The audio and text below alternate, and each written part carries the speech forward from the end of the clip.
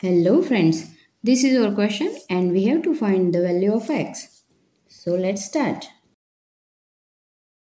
Question is cube root of 1 over x is equal to square root of 2 over x. What we can do here? Let's see. This can be written as 1 over x whole to the power 1 over 3 and this can be written as 2 over x whole to the power 1 over 2. Now in the next step we will raise 6 both the sides.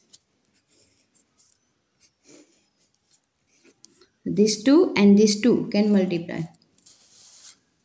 So our next step will be 1 over x whole to the power 6 times 1 over 3 is equal to 2 over x whole to the power 6 times 1 over 2. Here we have 3 and here we have 2.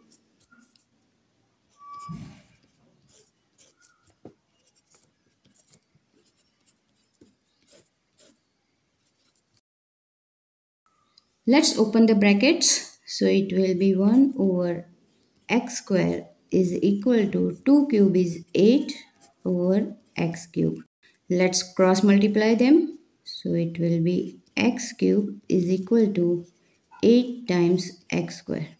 Move this part to left hand side.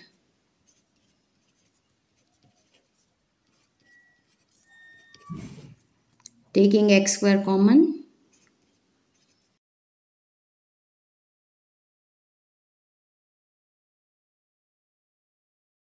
So here we have two possibilities x square is equal to 0 and x minus 8 is equal to 0.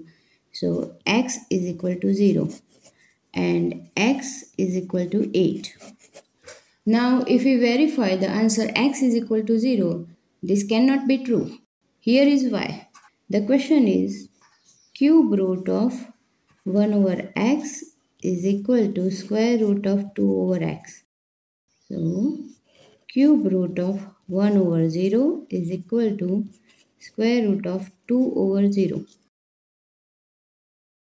So it will be 1 over 0 is equal to 2 over 0 is infinity. So x is equal to 8 is the only valid answer. Thanks for watching. Don't forget to subscribe. We'll meet in the next one. Bye bye.